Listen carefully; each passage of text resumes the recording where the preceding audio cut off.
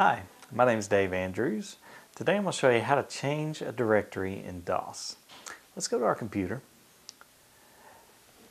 and we're going to open up a DOS prompt by clicking on the Start button and right above the Start button let's just type CMD as in command which is short for command prompt and then type uh, or actually click on the CMD up here at the very top.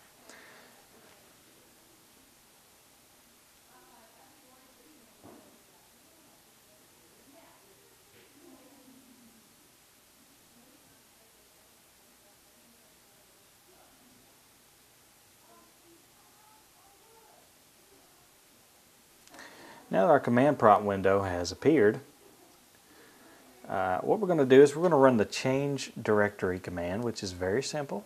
And all it does is change the current directory that we're operating in. To do that, let's type in cd and then just dot dot. And what that actually did was that took us back one directory. We changed from the video directory to the users directory. If I type dir to get a listing of this directory, I'll see my list of users. And if I change directory or CD back into my video directory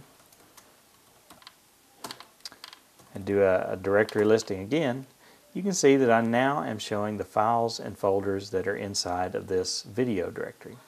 To go to the root of the C drive, type CD space and then a backward slash. Press enter. And we're now on the root of the C drive. It's that easy to change directories in DOS. My name is Dave Andrews, and I've just showed you how to change directories in DOS.